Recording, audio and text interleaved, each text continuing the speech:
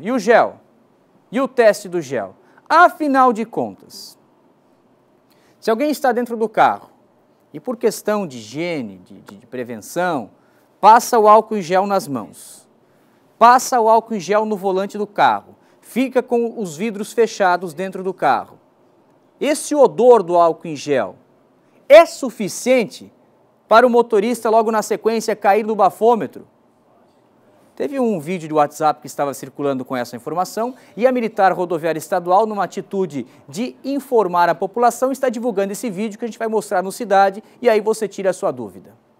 Sou o Sargento Nobre, estou aqui junto com o Sargento Marcos Antônio, Polícia Militar Rodoviária de Santa Catarina e vamos tirar a dúvida do pessoal sobre o álcool gel. O pessoal tem muito perguntado sobre essa questão, o álcool gel, né, coronavírus, o pessoal tem bastante receio. Será que se eu passar álcool gel no volante do meu veículo, passar nas mãos, estiver dirigindo e eu ser abordado numa fiscalização da lei seca, será que esse álcool gel, será que vai ser captado pelo etilômetro? Será que vai dar alteração no etilômetro? Então nós vamos tirar sua dúvida. Sargento Marcos Antônio vai estar passando agora o álcool gel na mão.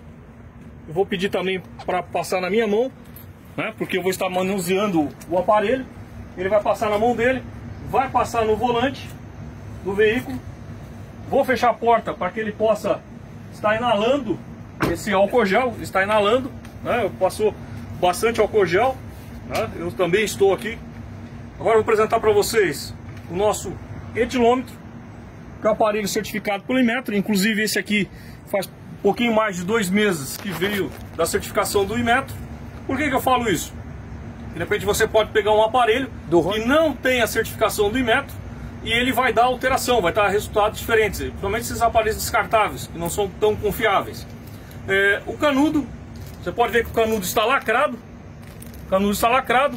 Por que também no canudo lacrado? Porque se eu manusear o canudo com a minha mão impregnada de álcool gel, vai alterar. Eu já vi vídeo na internet onde a pessoa com a mão cheia de álcool gel manuseia o canudo e isso altera o resultado. Aqui ele está lacrado, fechado, vou convidar o Marcos para vir Sargento Marcos. Enquanto isso, eu já vou abrindo aqui o canudo, sem ter contato com ele, somente com a embalagem. Vou ligar o nosso etilômetro. Lembrando que o álcool, ele é diferente. O álcool da bebida alcoólica, ele entra na corrente sanguínea e pode levar 6 horas, 10 horas, 24 horas ou até mais para ser eliminado pelo organismo. No caso do álcool gel, no caso do, do álcool, desse álcool doméstico, ele é o que? Muito rápido a evaporação, ele evapora muito rápido. Então, nós vamos tirar a dúvida agora se realmente ele vai apresentar algum resultado aqui, alguma alteração ou não. Eu creio que não, né? até pela nossa experiência, como eu falei. Agora o Sargento Marcos vai soprar. Soprou. Estamos aqui esperando o resultado.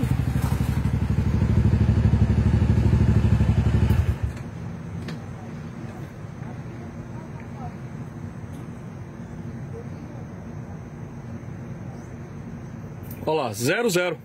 Então, ao contrário do que se diz por aí, o álcool gel ele não altera o resultado do etilômetro. Né? Ele não altera, não tem alteração nenhuma. Espero ter esclarecido a dúvida de vocês. Um grande abraço.